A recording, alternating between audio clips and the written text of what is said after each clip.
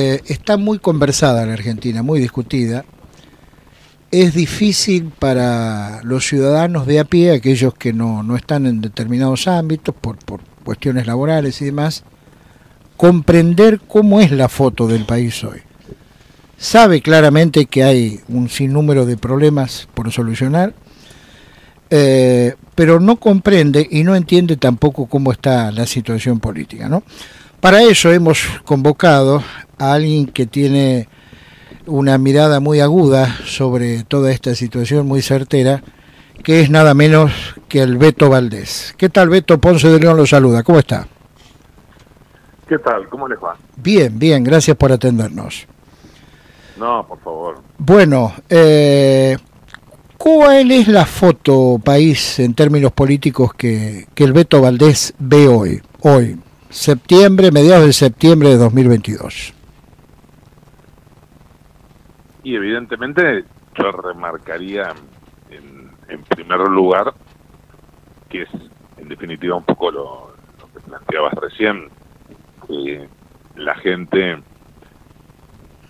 que finalmente es la que eh, marca de alguna manera no solo en la previa elecciones eh, tendencias en materia de opinión pública, sino el padrón electoral que que termina definiendo toda, toda la historia y, y, y, tanto poder en juego que tenemos el año próximo. Y me parece que el principal tema está ahí, es decir, en, en las últimas encuestas, eh, no tanto en materia de imagen puntual de las principales eh, figuras eh, de la dirigencia política. Eh, ya sabemos que la administración del presidente Alberto Fernández está prácticamente en su peor momento, ha, llegado a un, digamos, a, un piso de aprobación ya superando lo que en algún momento había llegado a caerse Fernando de la Rúa, pero al mismo tiempo lo que se percibe es un enorme descreimiento de, de, la opinión pública y una especie de cambio de paradigma, es decir, eh, la sociedad está muy enojada y eso se ha profundizado muchísimo, eh, esencialmente durante y después de la cuarentena, es como que ha cambiado sustancialmente el estado de ánimo. Lo hemos visto el año pasado en elecciones provinciales y tanto en las PASO como en las generales, eh, una baja participación. El domingo pasado en Marco Juárez, que encima se nacionalizó porque se metió de lleno Juan Enchiaretti, fueron las principales figuras de Juntos por el Cambio, votó el 70% del padrón, cuando normalmente en, en las ciudades cordobesas que tienen la suerte de elegir no como, por ejemplo, los bonaerenses, de elegir a sus intendentes aislado de la cuestión provincial y nacional, genera cierto interés, sin embargo, baja la participación. Uh -huh. Y todos los meses lo que se empieza a percibir es que no solo cae el frente de todos, Alberto Fernández, Cristina Fernández de Kirchner, Axel Kicillof, sino que los dirigentes mm, mejor posicionados de Juntos por el Cambio están estancados.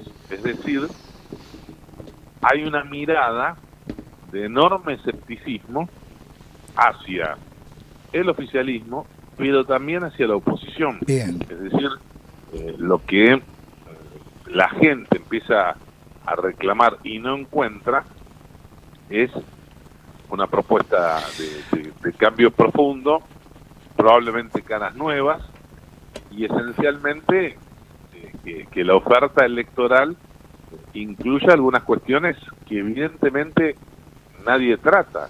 Ahora, Beto. Están relacionadas, eh, bueno, primero con una propuesta económica que hasta ahora de economía el único que habla es Javier Milei. Bien. El resto trata de evitar eh, entrar en esa agenda, lo que tiene que ver con eh, el manejo del espacio público, los piquetes, eh, bueno, la pelea que se dio y que no se resolvió en el seno del PRO respecto a eh, lo que ocurrió con las vallas alrededor del edificio donde eh, vive la vicepresidenta Cristina Fernández de Kirchner. es decir, más que nunca se está notando, incluso hay algunos analistas de opinión pública que consideran que la caída y el escepticismo frente a la dirigencia política es mayor que la de 2001. Bien, Beto, eh, a través del ojo periodístico, lo que uno va viendo como precandidatos probables, ¿son todos los que están a la vista o, usted considera que hay tapados, fundamentalmente en las provincias y en los distritos? Eh, a ver, sorpresas probablemente se puedan llegar a registrar porque eh, está todo por verse, no hay, me parece que hay como precandidaturas, algunas que se están testeando, otras no tanto, y bueno, ni hablar eh, a nivel provincial y bueno, y, sobre todo en, en los municipios, fundamentalmente en la provincia de Buenos Aires, seguramente también va a haber eh, sorpresas, pero claro, todo esto va a estar supeditado a una cuestión realmente estratégica y central, que es si finalmente vamos a tener primarias abiertas, simultáneas obligatorias, es decir, si vamos a votar dos veces, como viene ocurriendo desde 2011 hasta ahora, o el oficialismo va a lograr lo que quiere, que es suspender las pasos para pegarle la línea de flotación a, Juntos por el Cambio, porque para ellos ha sido una herramienta muy eficaz de definir la, profunda interna que hay dentro de la coalición opositora. Bien, ¿usted cree que tiene los números el oficialismo para impedir las primarias? En la Cámara de Diputados, eh, a ver, no los tienen, pero tampoco están lejos. Es decir, va a depender de cómo lo encaran y esencialmente de, bueno, la, la rosca, ya que está tan de moda la palabra, la, rosca que se, se comience a implementar con los monobloques, los las bancadas de los partidos provinciales. Correcto. La izquierda. Muy probablemente Javier Milei y Victoria Villarruel también voten la suspensión de, la PASO. Ajá. Eh, entonces, hay que ver.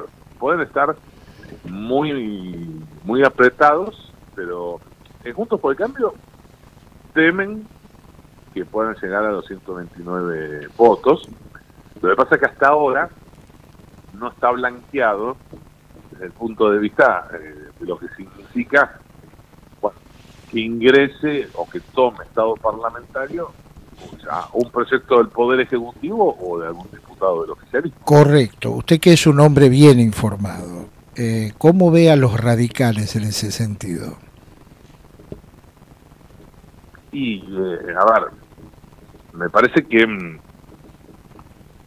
hay una interna que tienen que resolver, eh, esencialmente por, una grave crisis que se está generando por estas horas en Chubut, donde el presidente de partidario, el presidente de la UCR de esa provincia, eh, Damián Bis, que además es intendente de Rawson, eh, ya ha blanqueado rumores que circulaban de algún tipo de negociación con una contraprestación de parte del gobernador Mariano Arcioni, que era nada más ni nada menos que transferir la administración del puerto de esa ciudad a cambio eh, de que el radicalismo eh, respaldara la eliminación de las pasos provinciales. Eh, esto ha generado un verdadero terremoto, no solo en Chubut, sino que eh, se ha ampliado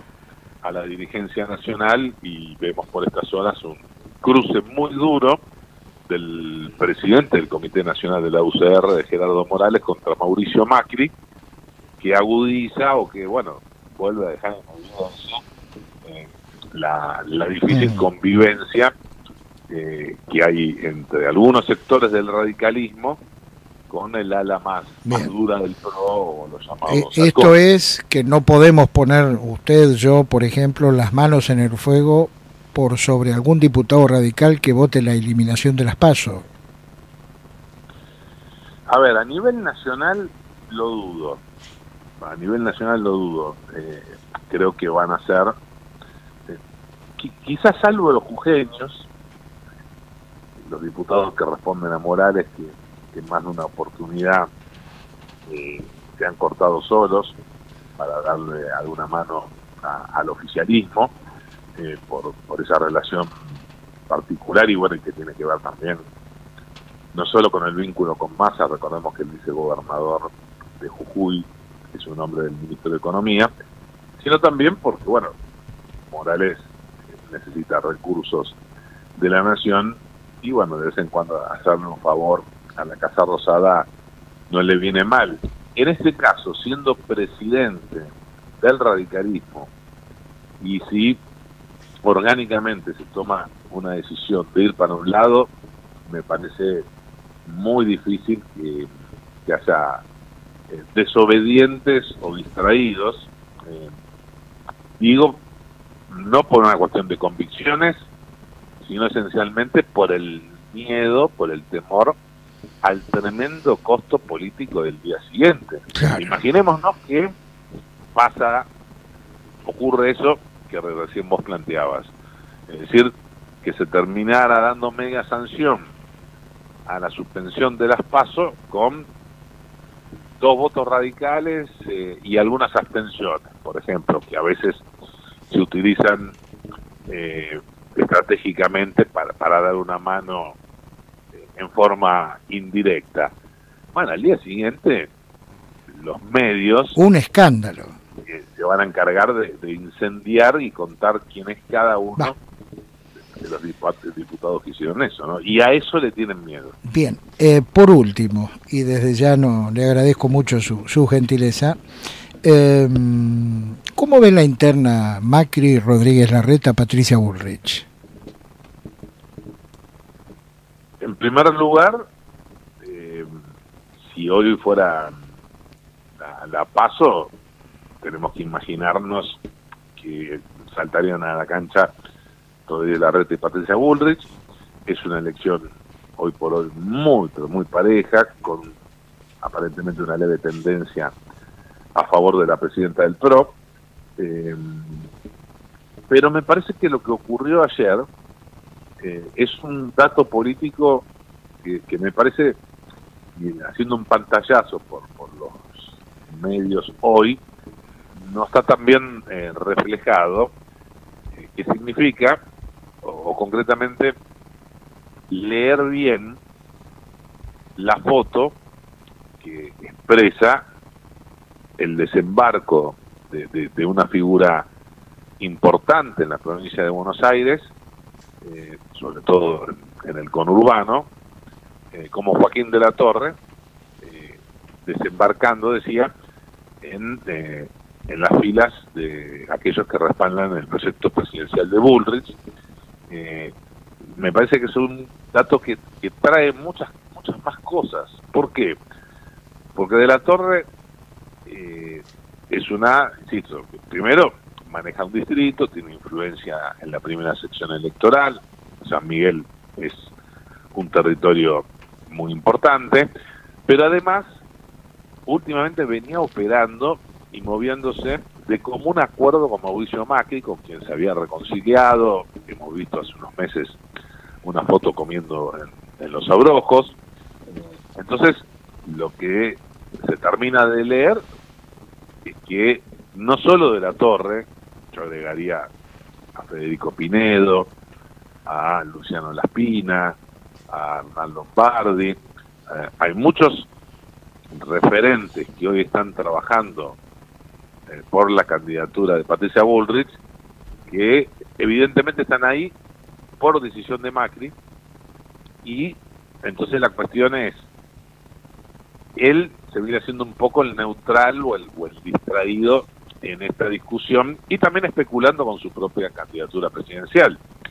Pero claro, cuando uno observa, y ahora con lo de De la Torre, bueno, evidentemente es eh, una especie de respaldarla a ella, pero sin descartar el famoso segundo tiempo, es decir, la posibilidad eh, de que finalmente el expresidente decida competir, él cree que gana la paso o que prácticamente nadie se le va a animar a, competir y cree que, tiene serias chances de, ser el próximo presidente, pero la gran duda que tiene es consciente de la gravedad de la situación que requieren medidas muy impopulares y reformas muy duras, bueno, tiene sus dudas de qué, qué calidad de apoyo político le daría el resto de Juntos por el Cambio y fundamentalmente, fundamentalmente la Unión Cívica Radical.